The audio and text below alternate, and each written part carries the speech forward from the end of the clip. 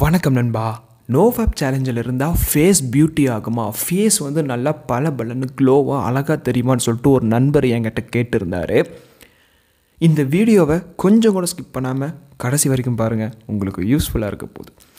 நீங்கள் முப்பது நாள் சுய இன்பம் செய்யாமல் நோஃபாப் சேலஞ்சில் இருந்தீங்க அப்படின்னா ஃபேப்பே பண்ணாமல் ஆபாச படங்கள் பார்க்காம நோஃபாப் சேலஞ்சில் நீங்கள் முப்பது நாள் கடந்தால் போதும்.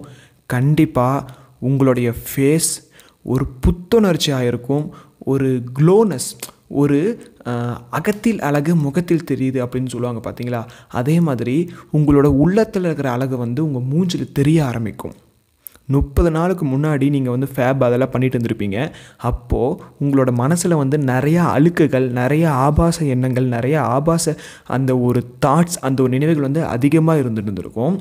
நீங்கள் நோஃபப் சேலஞ்சை ஸ்டார்ட் பண்ணி முப்பது நாள் கடந்ததுக்கப்புறம் அந்த எண்ணங்கள் முக்கால் வாசி முழுசாக போயிருக்காது. ஆனால் முக்கால் வாசி போயிருக்கும்.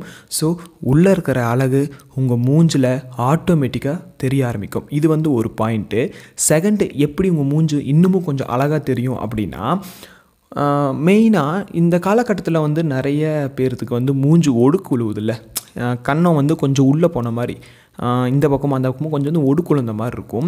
அது உங்களுக்கு வந்து க்யூர் ஆகும். நீங்கள் முப்பது நாள் கடந்துட்டால் போதும் நோஃபப் சேலஞ்சில் எக்கார்ந்து கொண்டும் அந்த முப்பது நாளில் வந்து ஆபாச படங்கள் பார்த்துருக்கக்கூடாது அந்த சுய இன்பம் செய்கிற அந்த ஒரு முயற்சிக்கு நீங்கள் போயிருக்கவே கூடாது. ஓகேவா அப்படி இருந்திருந்தால் நிச்சயமாக அந்த கண்ணுங்கள் அதெல்லாம் சுருங்கி இருக்குது அப்படின்னு சொன்ன பார்த்தீங்களா? கொஞ்சம் ஒடுக்குழுந்து இருக்குது அப்படின்னு சொன்ன பார்த்தீங்களா?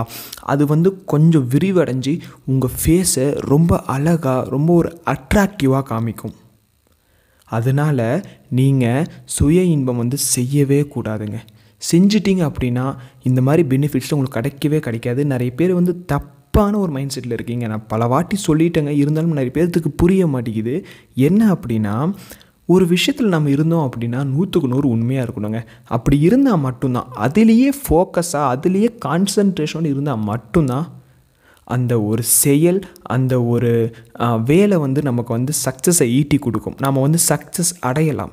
ஆனால் அதெல்லாம் இல்லாமல் இங்கே கொஞ்சம் அங்கே கொஞ்சம் சேத்துல ஒரு கால் ஆற்றுல ஒரு கால் மாதிரி மாறி மாறி வந்து நம்ம வந்து ஆசிலேஷன்லேயே இருந்துகிட்டு இருந்தோம் அப்படின்னா ஆபாச படங்கள் பார்த்துக்கிட்டே நோஃபப் சேலஞ்சில் இருந்துக்கிட்டு சுய இன்பம் பண்ணுற ஸ்டேஜுக்கு போயிட்டு சுய இன்பம் பண்ணாமல் நோஃபப் சேலஞ்சில் இந்த மாதிரி எக்கச்சக்கமான தப்பை வந்து நீங்கள் பண்ணிட்டு தான் இருக்கீங்க. ஸோ நீங்கள் இப்படிலாம் பண்ணிட்டு இருந்தீங்க அப்படின்னா உங்களுக்கு சின்ன சின்ன பெனிஃபிட் கிடைக்க வேண்டிய பெனிஃபிட்லாம் கிடைக்காமையே போயிருங்க. ஆனால் உங்கள் மனசுக்கு வந்து ஐ நம்ம நோஃபாப் சேலஞ்சில் இருக்கோமே அப்படின்னு சொல்லிட்டு உங்கள் மனசுக்கு தோணும். ஆனால் நான் எப்படி சொல்ல உங்களுக்கே புரியுங்க. ரொம்பவே அது வந்து கஷ்டம். உங்களே நீங்கள் ஏமாற்றிட்டு இருக்கீங்க அப்படின்னு சொல்ல நான் சொல்லுவேன். அதனால் நீங்கள் வந்து உண்மையாக இருக்கிற மாதிரி இருந்தால் நோஃபப் சேலஞ்சுக்குள்ளே வாங்க நோஃபப் சேலஞ்சில் இருங்க. அதாவதுங்க நீங்கள் வந்து ரீலாப்ஸ் ஆகிறதுல இப்போ மேட்ரு இல்லை. இப்போ நான் அதை பற்றி பேசலை. ரீலாப்ஸ் ஆனால் திரும்ப ஸ்டார்ட் பண்ணலாம். இப்போ வந்து ரீலாப்ஸ் ஆனால் அது வந்து நல்லதான் தப்பு இல்லை. ஆனால் நீங்கள் வந்து ஏமாற்றிட்டு இருக்கீங்க பார்த்தீங்களா உங்களையே நீங்களே ஏமாத்திட்டு இருக்கீங்க? நோஃபாப் சேலஞ்சில் இருக்கிறோம். ஆனால் நம்ம வந்து அந்த மாதிரிலாம் பார்த்துக்கிட்டு அந்த மாதிரிலாம் பண்ணிக்கிட்டு ரொம்ப கே அப்போல்லாம் நீங்கள் வந்து இருந்துட்டு இருந்தீங்க அப்படின்னா நிச்சயமாக உங்களுக்கு எந்த ஒரு பெனிஃபிட்டும் கிடைக்காது. உங்களால் சக்ஸஸே ஆக முடியாதுங்க.